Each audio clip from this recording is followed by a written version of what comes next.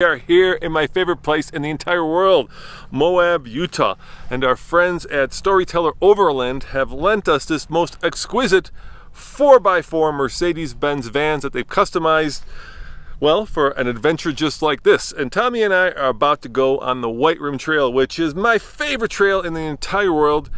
Go camping, and of course, deploy the monkey.